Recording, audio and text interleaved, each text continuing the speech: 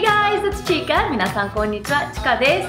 今日は皆さんから多くリクエストいただいている should, could, would の使い方についてシェアしたいと思います。かなり複雑なテーマなので私も正直ずっと避けていたんですけれど、本当に皆さんから教えて教えてっていう言われるので、頑張って整理してみました。2日間ぐらいかけてああでもないこうでもないっていろんな例文出したりしていろいろカテゴリーに分けてたりしたんですけれど多分これ言葉で伝えてもなかなか理解できないと思いました。なので今日はたくさんの例文を使って皆さんにこれらの言葉の使い方をより理解してもらえればなと思っています。今日初めてバイリンガールの動画を見ている方 Nice to meet you guys! Thank you so much for visiting my channel 日曜日と水曜日に英語、文化と旅に関する動画などをアップしていますのでこれからもよろしくお願いします Alright, are you guys ready? This is gonna be a tough lesson 今日はちょっと複雑ですよ Take a deep breath 深呼吸 Okay, let's get started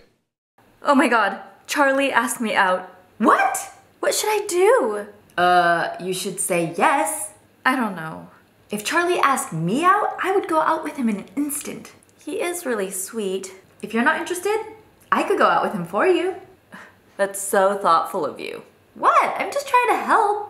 should はするべきなので What should I do? って言うとどうすればいいとアドバイスを求めるときに使いますそして逆にアドバイスを聞かれたときに You should say yes はいって答えるべきだよ〇〇するべきだよとアドバイスするときにも使います If I were you, I would go out with him in an instant. If I were you, I would.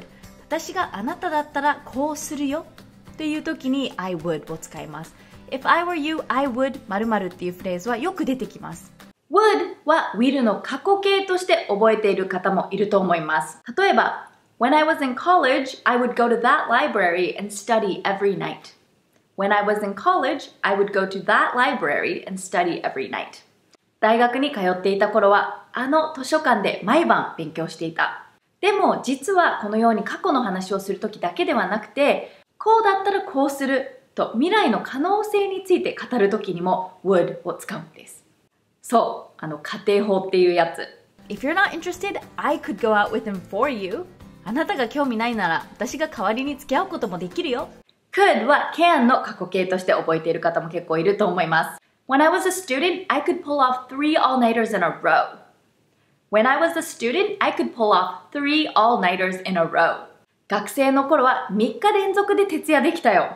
このように could を使って昔できたことについて話すこともできるんですけれど、未来のことに対してこうだったらできるのにっていうような使い方もあるんです。またまたあのややこしい家庭法。次は should not, could not, would not.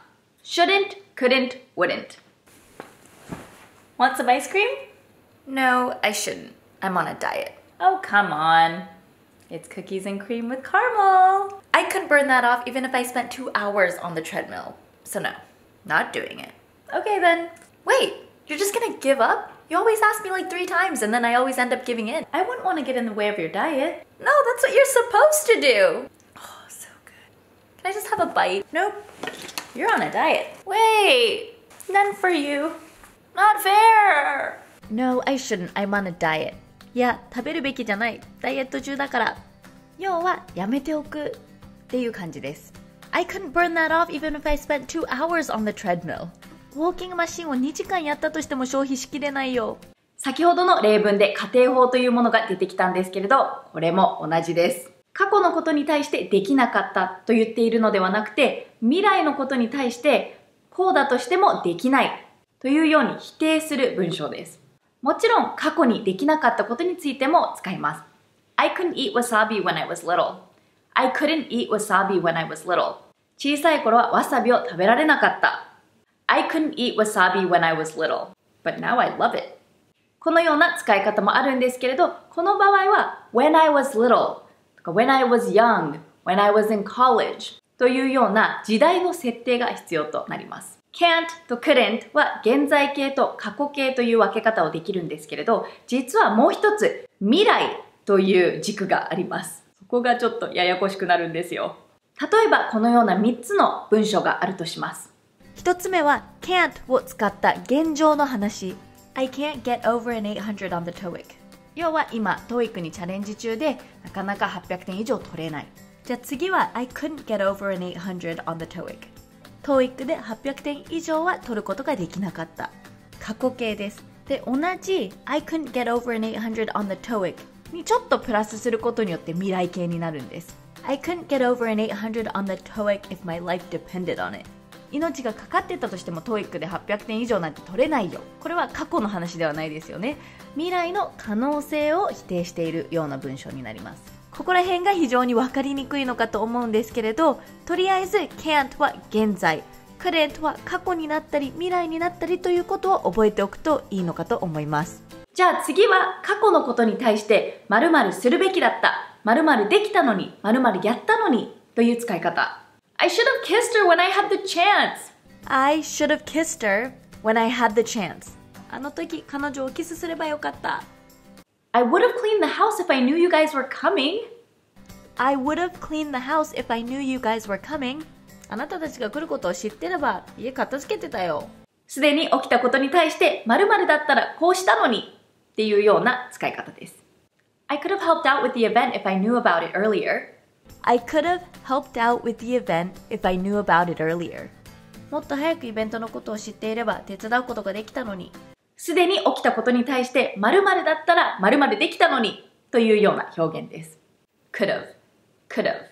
じゃあ最後に今日の理解を確かめるためにもう一つ会話式の例文を。Hey, we're having a get together at my house this weekend. You should come. I can't. I'm hamster sitting for my aunt. Hamster sitting? I know, it's lame. Okay, well, why don't you bring your little friend with you? I would, but Pikachu is really sensitive and Pikachu? my aunt would freak out. Okay then, but just so you know, Eric is going to be there. Are you serious? Ugh. Well, maybe I could ask my little sister to do it. Yeah, just ask your little sister. I'm sure she wouldn't mind. By the way, do you think I should invite Dave, or would that be awkward? Uh, I think that would be a little awkward.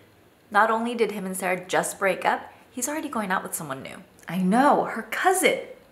Yeah, that would be awkward. Let's not do that. Let's not invite Dave. I should go call my sister. Okay, well, let me know. Hey, Jill. Would you do me a small favor?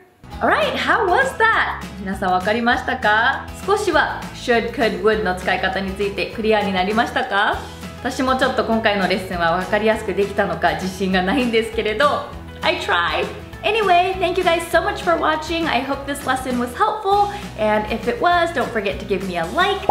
And I will see you guys again soon. Bye!